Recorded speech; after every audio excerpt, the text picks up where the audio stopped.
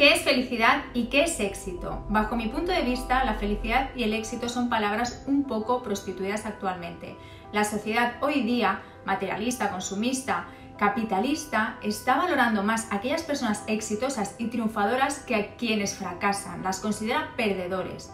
Esto provoca que muchas personas están considerando su vida una constante competición, compitiendo y comparándose unos con otros, lo que provoca continua insatisfacción, continua búsqueda del reconocimiento.